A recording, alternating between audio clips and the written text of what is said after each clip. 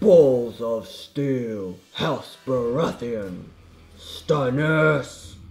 The biggest take no shit, lead from the front, jabroni beating, brother killing, throat slashing, grammar correcting, daughter sacrificing badass in the game today.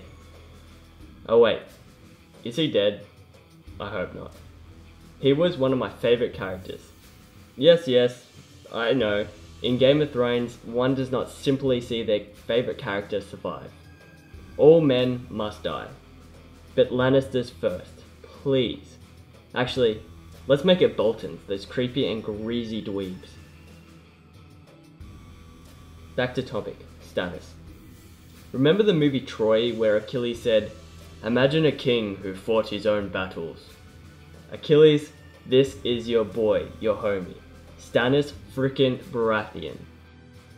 While you are avenging the death of your idiot cousin Patroclus, you could have been murdering Boltons and Lannisters left, right, and center.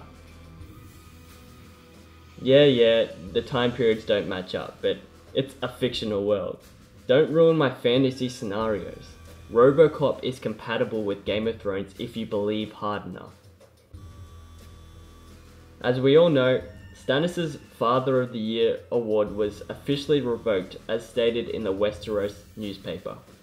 Sacrificing his daughter was a little bit of a butt freckle move, wasn't it? I mean, the dark magic of the sacrifice works right, so why waste the sacrifice on melting snow? Wasn't there a better use for the dark magic like killing the Boltons or summoning Robocop? Let me believe, alright?